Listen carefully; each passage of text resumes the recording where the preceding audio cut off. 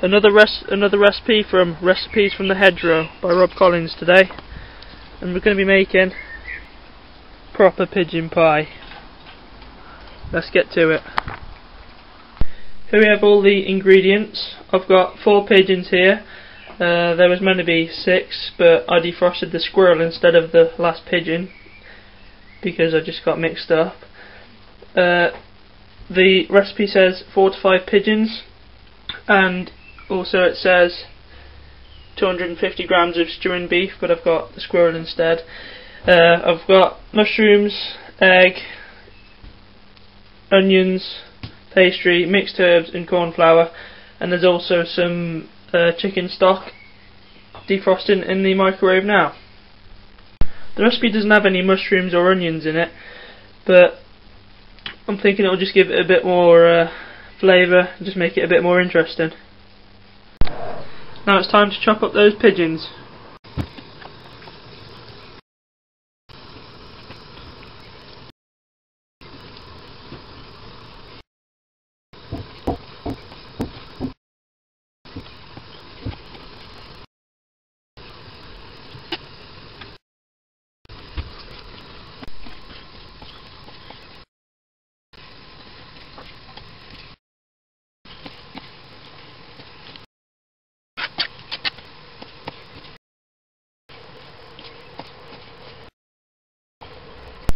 That's the meat all cut up. Now for the onions.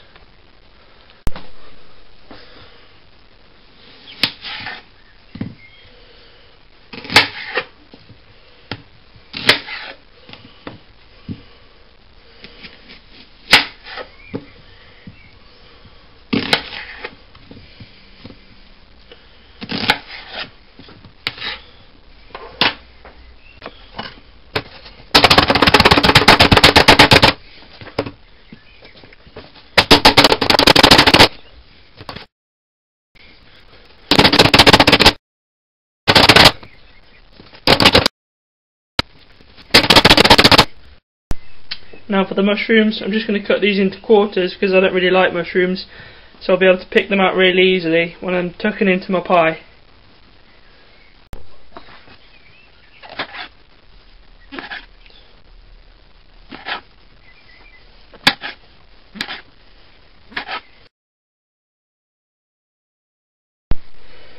Some oil.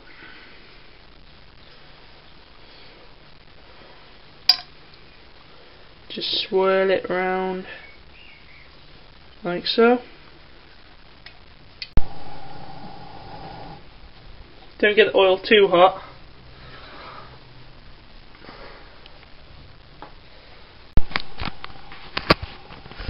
In with the onions. I'll get the rest up in a minute when I put this camera down. Just keep moving them around they'll cook evenly. And I'm crying again. Ah. Good grief. These things are nasty. So, we've made them brownie-ish. Now I'm just going to put them into a bowl before we start frying the meat. some more oil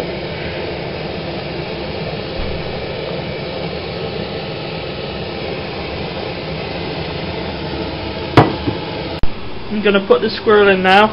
Give that a little bit of time. Then after I'm going to put the pigeon in because I'm reckoning the squirrel's going to cook slower than the pigeon. That's the squirrel in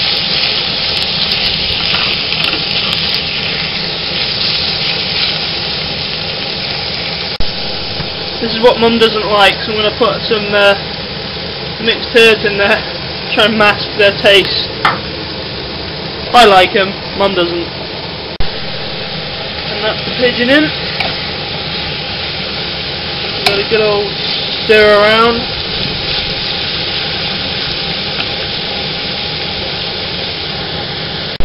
Chuck a bit more mixed herbs in. Give it a bit of extra flavour.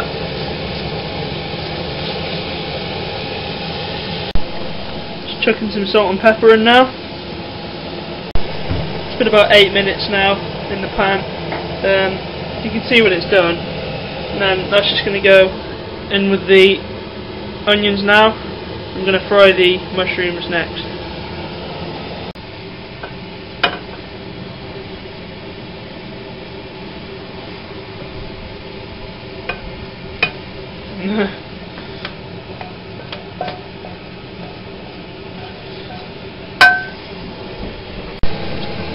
yeah.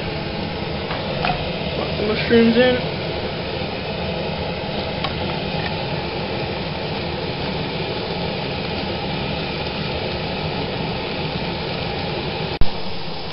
That's the mushrooms done. They don't need to be thoroughly cooked through as they're going to go in an oven which will finish them off. Now put the oven on 200 which is 400 Fahrenheit and gas 6. Yeah. 2 teaspoons of corn flour.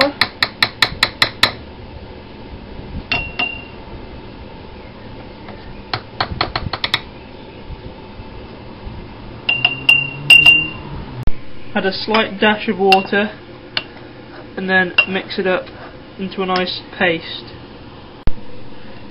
Nice sort of watery milkiness now.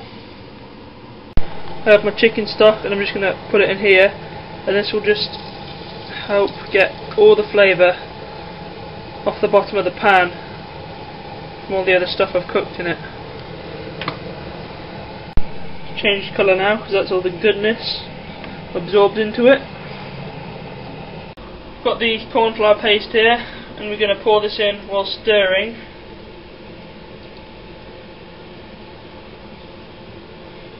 Got to stir it so that lumps don't develop. Going to turn the heat up and then bring it to the boil. It's all boiling now. So what I'm going to do is just get everything and put it all in.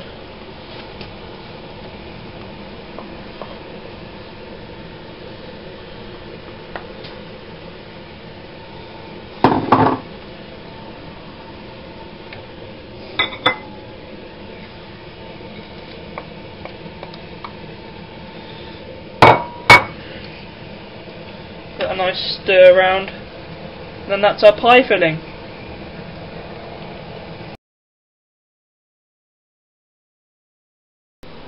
Now, we've got our pie things here, and they're not all going to go into one pie, because I've done too much. So, I'm just going to divide it equally between the two dishes.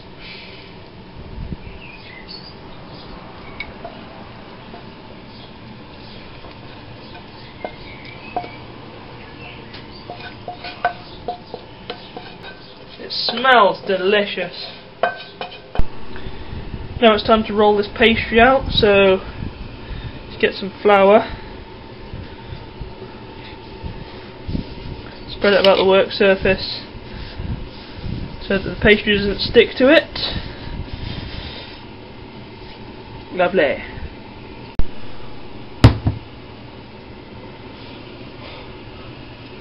Where's the rolling pin? Now it's just time to roll it out. Obviously I need two hands for this. Pastry's rolled out now and we've just put some water on the cracks and then folded it over to seal it.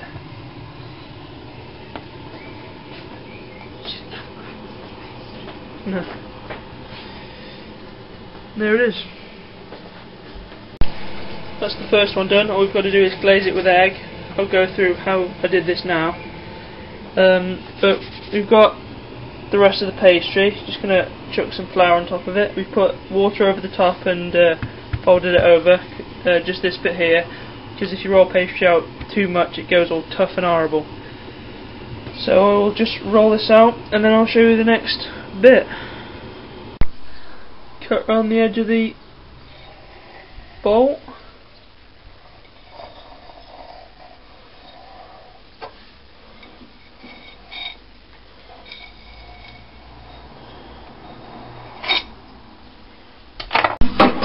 I'm just getting some of this water and putting it around the edge. Because the water on the edge will help stick the pastry to the glass and stop it all falling apart.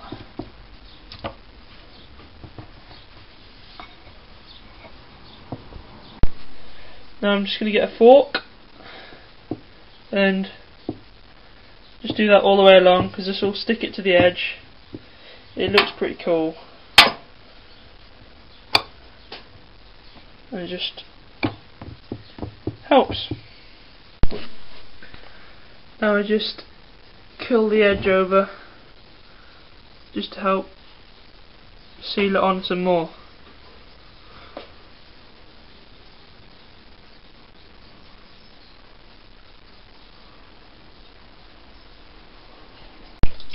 Two little cuts in the top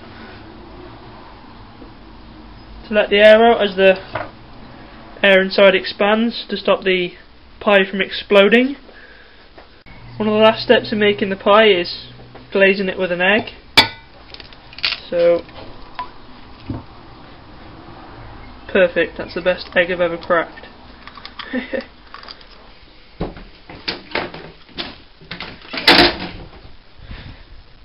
Beat this now. Get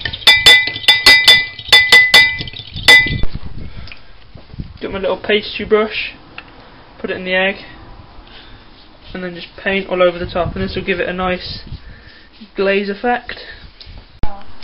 They're both all glazed over now. Lovely.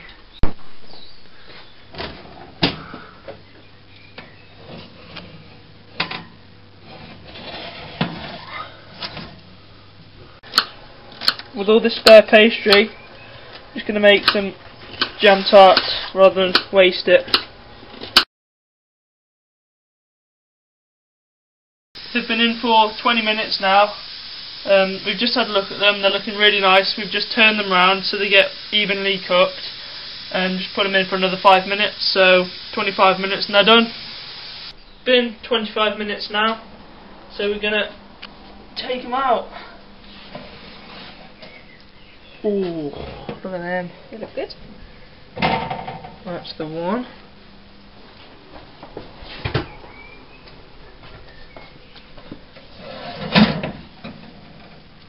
Number two. Look at them beauties.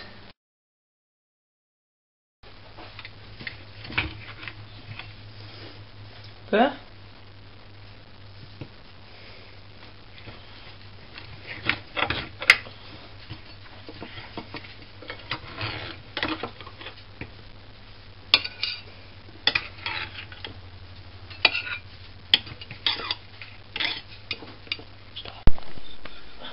Andrew? Yep. It's a mighty fine pie! So there you have it, pigeon pie with Rob. I'll put a link in the description of where to buy this book. All the um, all the money raised from this book goes to Pass It On, which is giving field sports to the younger generation like myself. I'm sure I would be uh, doing a lot with these guys if I lived closer, but they live a good few hours away, so unfortunately I only get to see them at game fairs. Um, so yeah, buy the book. It's a cracking book. Like, comment, subscribe. Enjoy your pie. Cheers.